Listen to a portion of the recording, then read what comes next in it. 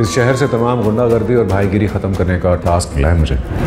एक एक करके सबको उड़ा दूँगा मैं। Hello guys and other most ask question कि भाई हमायूं सईद की न्यू ड्रामा सीरियल कौन सी आ रही है? और जेंटलमैन की फुल कास्ट क्या होने वाली है? और हमायूं सईद के अलावा हमें इसमें कौन कौन से एक्टर्स देखने को मिलने वाले हैं? इस ड्रामे की बेसिक इन्फॉर्मेशन की बात करें तो भाई, इस ड्रामे को लिखा है हलील रहमान कमर ने। और इस ड्रामे को लेकर सबसे ज़्यादा हाइप इस बात की है कि इसको हलील रहमान कमर डायरेक्ट कर रहे हैं।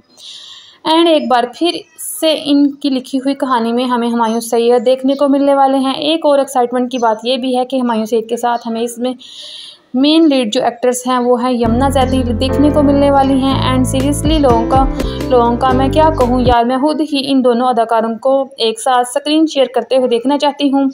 Drama serial gentleman green entertainment का अपकमिंग प्रोजेक्ट है, जो कि हमें बारह मई से हर एतवार रात आठ बजे देखने को मिलेगा।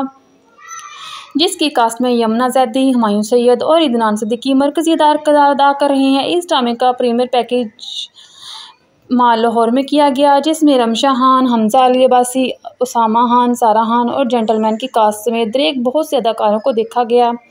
जो इस ड्रामे को सपोर्ट करते नज़र आए। इस ड्रामे में हमें यमुना जैदी और हमायूं के अलावा और कौन कौन से एक्टर देखने को मिलने वाले हैं? तो सबसे पहले बड़े रोल्स में तो हमें हमायूं एंड यमुना ही देखने को मिलेंगे। लेकिन इसके अलावा जो बड़ा रोल होने वाला है, वो है अहमद अली भट्ट का होने वाला है, जो अहमद अली भट्ट हमें भी इस ड्रामे में देखने को मिलने वाले हैं। इसके अलावा जो एक और एक्टर हैं जो काफ़ी नज़रों में हैं, आजकल जाहद अहमद जो हमें अपनी एक्टिंग के बलबोते पर काफ़ी छाए हुए हैं, वो भी हमें इस जेंटलमैन ड्रामे में देखने को मिलने वाले हैं।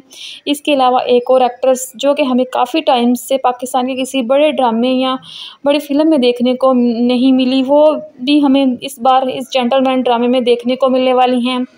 एंड इनका नाम है सोहाय अली आबरोए और सोहाय को ड्रामों में देखे काफ़ी टाइम गुजर चुका है, लेकिन हाँ इस बार सोहाय को आप इस ड्रामे में देख पाएँगे। तो नाजरीन, आपको किसी एक्टर की अदाकारी पसंद है, कमेंट में अपनी राय का ज़रूर इजहार कीजिएगा। और अगर चैनल पर न्यू है तो वीडियो को लाइक और चैनल को सब्सक्राइब करना ना भूलिएगा। शुक्रिया। अल्लाह हाफिज़।